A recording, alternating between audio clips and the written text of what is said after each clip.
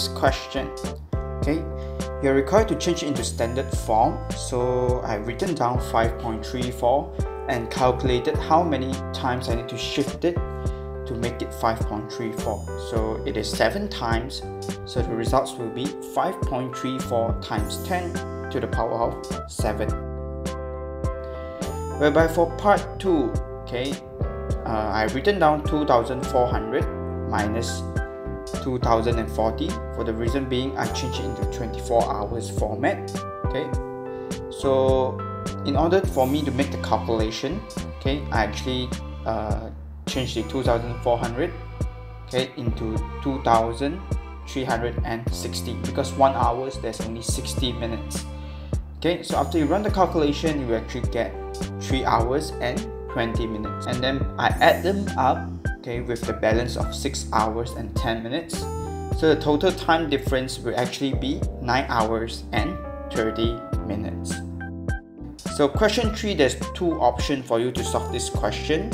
Okay first I use logarithm.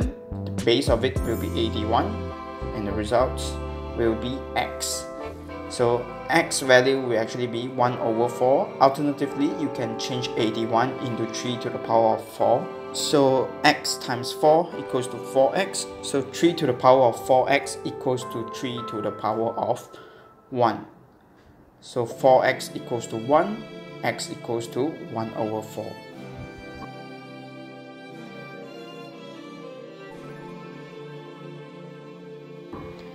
Question 4. Okay, so I listed it down okay based on its value okay a numbers was removed and the median and range do not change. So the current median will actually be 9 so if we were to remove 9 from the equation okay the new median will become 8 so the value that will be removed will actually be 7 okay because there's also additional condition that the range doesn't change means the maximum and minimum we could not do anything to it.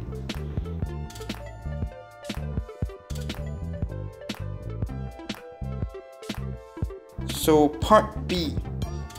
An extra numbers is included in the original list and the mode to does not change. Okay so the value can be anything between 4 5 6 8 9 10 up to 19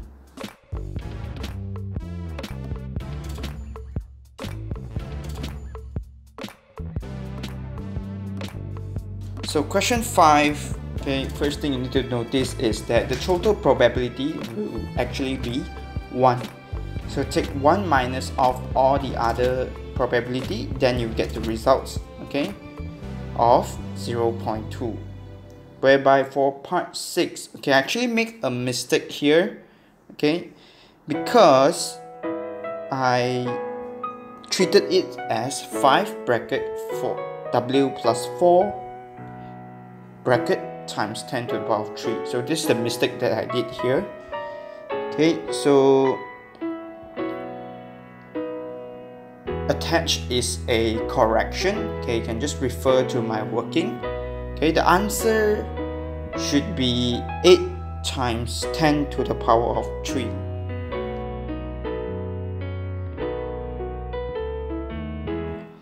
but for question 7 AB and DE are parallel and same length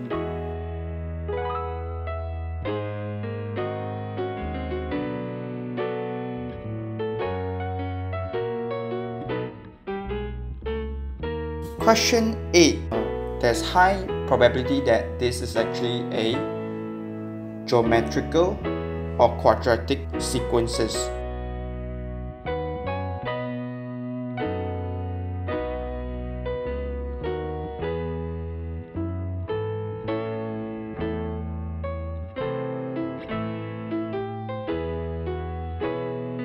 So first thing that you need to do is to find a difference, okay?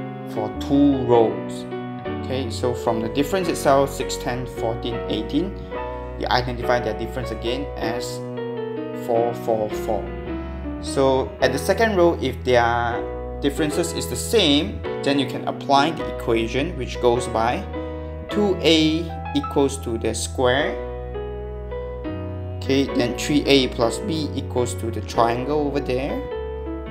And a plus b plus c equals to 5 so after you run the calculation you'll be able to get okay a equals to 2 b equals to 0 c equals to 3 and then substitute all this value into the equation a n squared plus b n plus c. So your results will actually be 2 n squared plus 3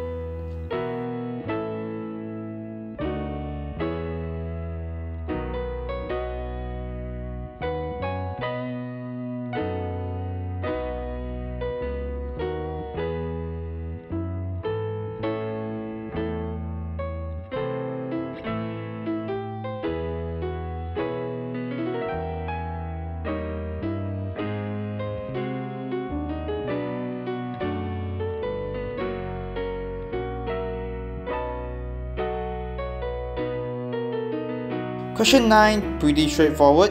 Okay, recurring decimals, So the x value will actually be 0.255555 because 5 is only value that's recurring. Okay, so in order for you to get rid of the 5 that's recurring, so simply put 10x equals to 2.55555. So their difference will actually be 9x equals to 2.3 x value will be 23 over 90. So question 10, two keywords you need to identify is corrected to the nearest centimeter and also upper bound increase. The rounding value will actually be 1 divided by 2 equals to 0 0.5. So one year ago, his height was 114. So for this, you are required to round it down and get 113.5 whereby for the new height today you're required to round it up. Okay the reason being by doing so you can get the maximum value which is the upper bound of this. Okay so the difference will be 7 cm. Okay question 11 pretty straightforward. Just take 3 times negative 2 minus bracket negative 11 times 1. The results will be negative 6 plus 11 equals to 5. Okay, so the inverse of m will be 1 over 5 bracket negative 2, negative 1, 11 and 3.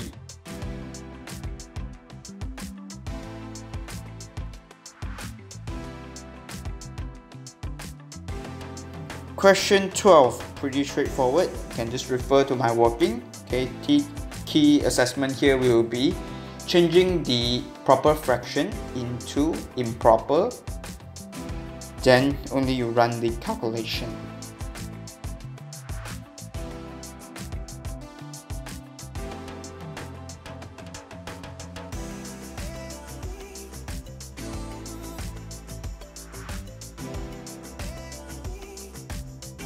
Whereby for question 13, find the value of x. So the characteristic of a square is that side is all the same. Hence, x minus 4 will be equals to 7 and x value will actually be 11. So question B, for the triangle side, okay, 11 minus 1 equals to 10. So the square's perimeter will actually be 7 times 4 equals to 28 and for the triangle 10 plus 10 plus unknown equals to 28 and the unknown value here will be equals to 8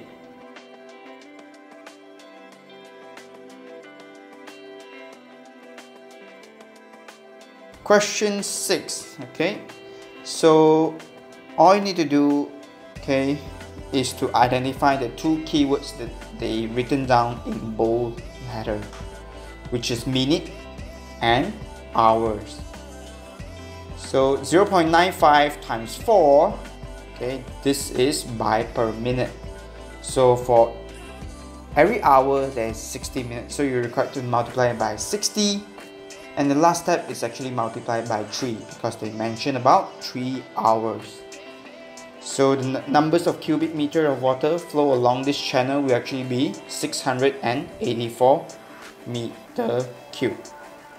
Question 15 pretty straightforward. You can just refer to my working and sort out the answer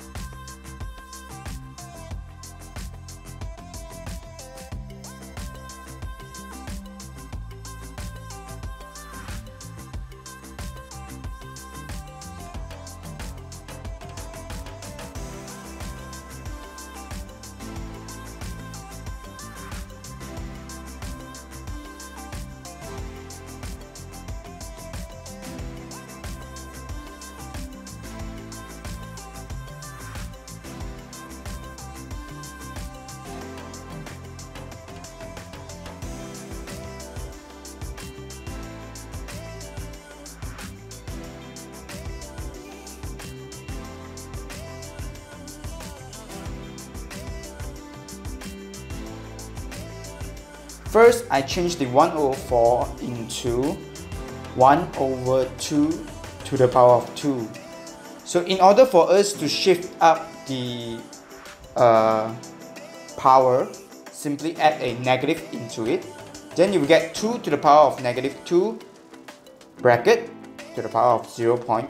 So multiply these two values together, then you get 2 to the power of negative 1 which results in 1 over 2 as the final answer. Whereby for part 2, okay, negative 8 is actually negative 2 to the power of 3.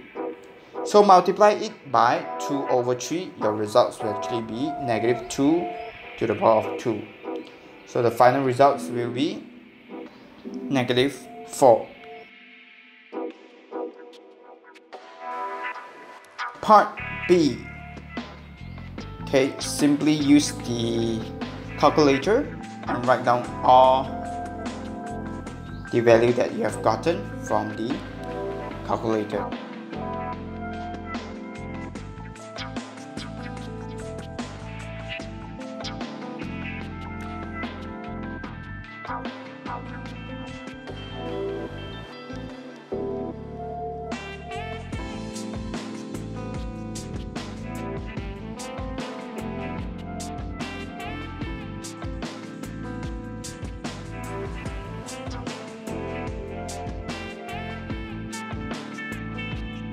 Question 17, okay, pretty straightforward. Use the coordinate given to identify its gradient and the value of c, which is the intersection with y-axis has actually been given from the coordinate 0, 3. So the final results for the equation will be y equals to 2x plus 3.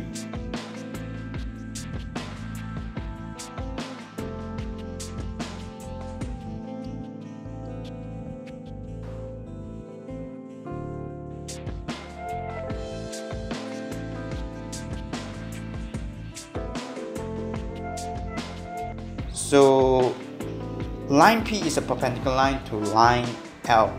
So with the gradient that we have gotten today, which is the gradient of original line times gradient of the perpendicular line equals to negative 1. So this is actually a formula you're required to remember it. So after you run the calculation, the gradient of the perpendicular line will be negative 1 over 2.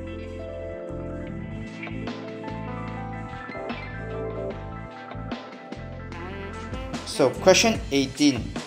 Work out the area of the front faces of the barn. So I treated it as two trapezium here. So 2 bracket top and bottom divided by 2 times the height. So the results will actually be 78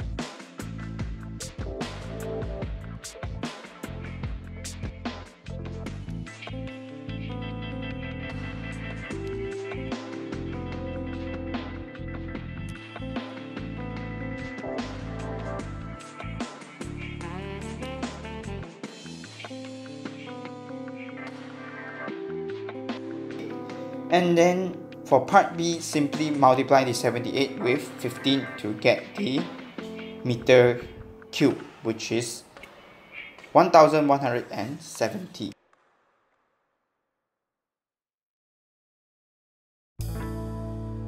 Question 19, you can refer to my working and sort out this question.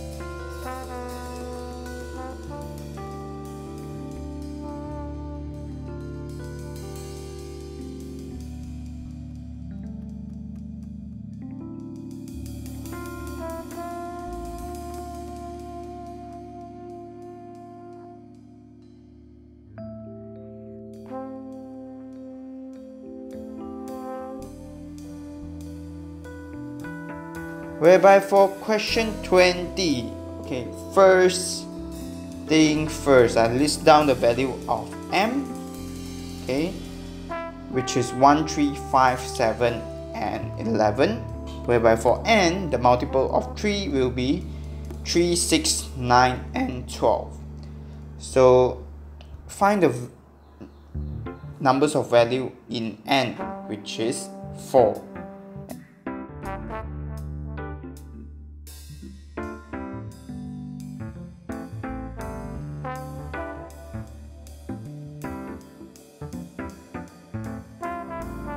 and then write down the set where set m intersect with n. This one will be 3 and 9 because it is looking for the part that's reoccurring.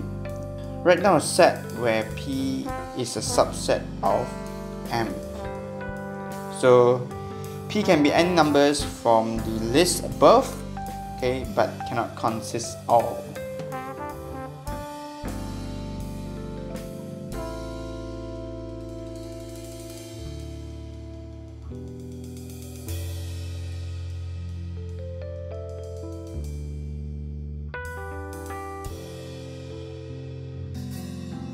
last part. A union with C okay intersect with everything other than B. So this will be the part where I shaded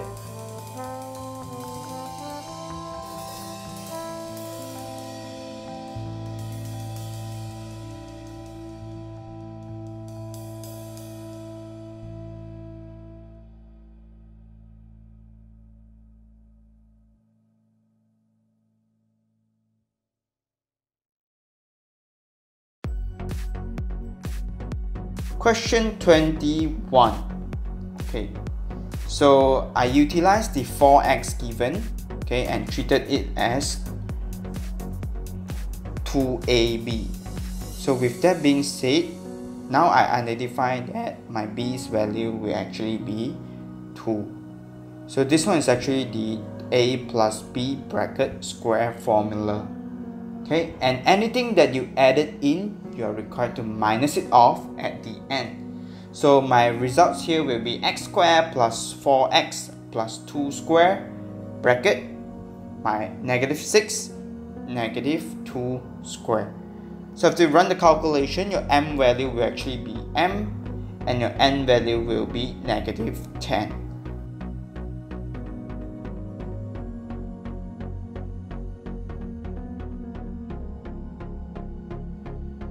So for part B, our A will actually be 1 and our B will be 4 and our C will be negative 6. So utilize the formula which goes by negative b plus minus b squared minus 4ac over 2a okay, then you will get the results as 1.16 or negative 5.17. So the keyword here is positive solution. So the results will be 1.16.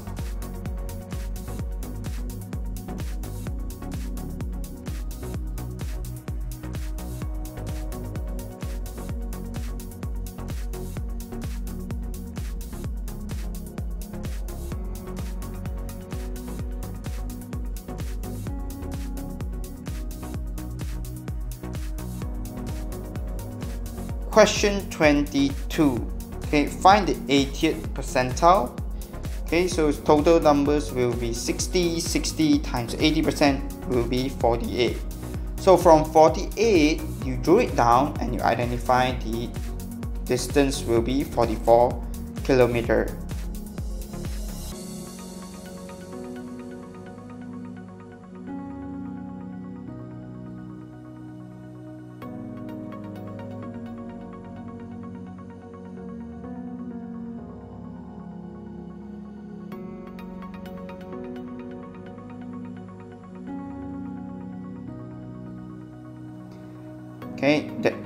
Interquartile range so you take 60 multiplied by 75 and multiplied by 25 percent then you will get 45 and 15 respectively. So you draw it out okay? From the graph itself you will identify two values which is 40 and 25 so their difference will be 15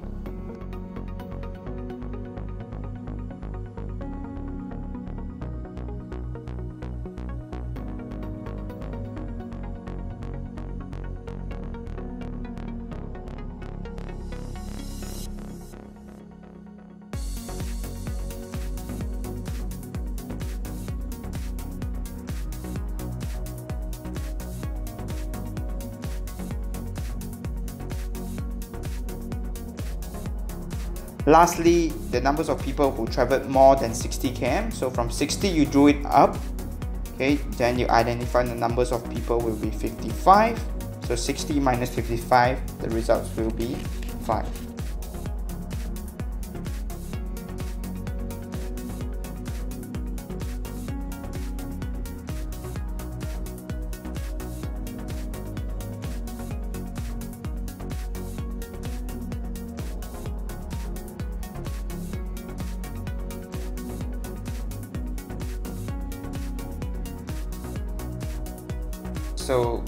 Question 23.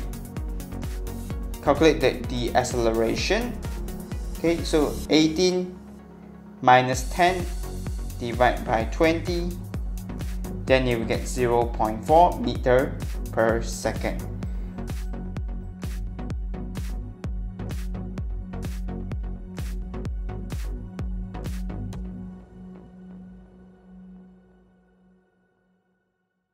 Whereby for part B this will be the area calculation.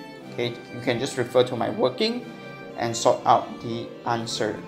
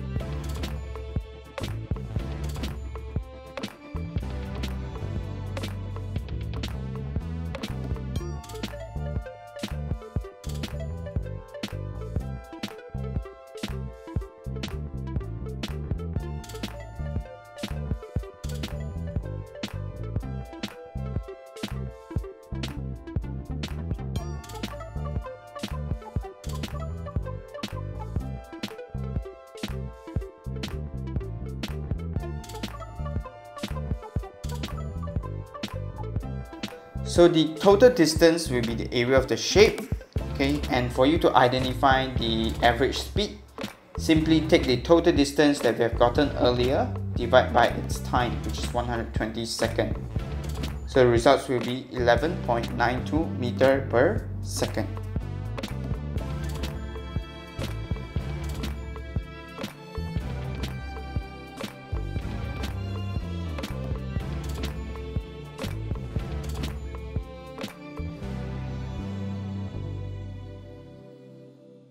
And our last question here is question 24. So this one is actually a function question. Okay, you can just refer to my workings and sort it out.